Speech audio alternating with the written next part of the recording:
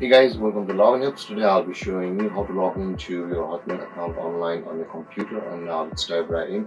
Now to log into your Hotmail account online on your computer, just click on your preferred browser as I've already opened the Google Chrome and in the search bar click over there and type in the address hotmail.com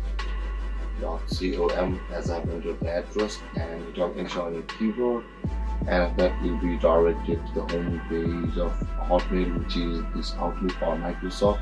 And before we proceed guys Hotmail is the Microsoft's Outlook so it has been upgraded to Outlook. And with that being said guys in order to log into your Hotmail account at the top right corner of the screen you can see the sign in button available for us. Click on that sign in and over here you'll be required to enter your Hotmail address or your Outlook.com address, whichever you want. Uh, you can go with the Hotmail.com also. And after that, click on next. And after that, click on next.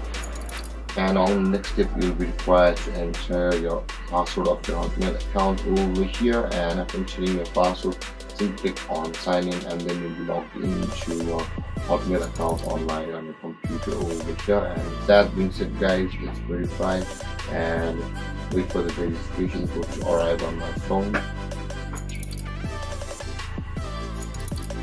And I have received the code guys, so let's enter the code.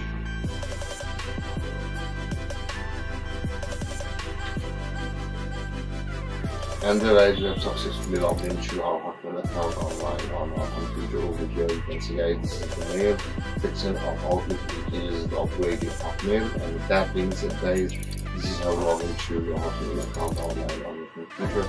And if you have any questions or questions regarding the topic, feel free to comment in the comment section below and don't forget to like, subscribe and hit that bell icon for more videos. Thank you for watching guys. Peace.